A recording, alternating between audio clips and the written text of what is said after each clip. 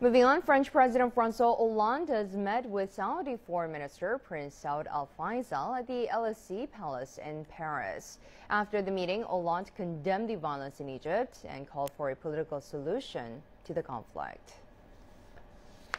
It is not acceptable for a great country like Egypt to go through such a level of violence. The people's right to protest must be respected, their security as well.